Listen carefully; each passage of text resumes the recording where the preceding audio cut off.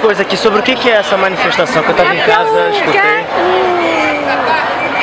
Explica aqui pra ele, quer saber o porquê do movimento. Sobre o que que é? O movimento é porque a gente está sabendo, teve uma notícia, que o governo federal está passando o hospital para estadual com a finalidade de transformar ele em hospital de oncologia.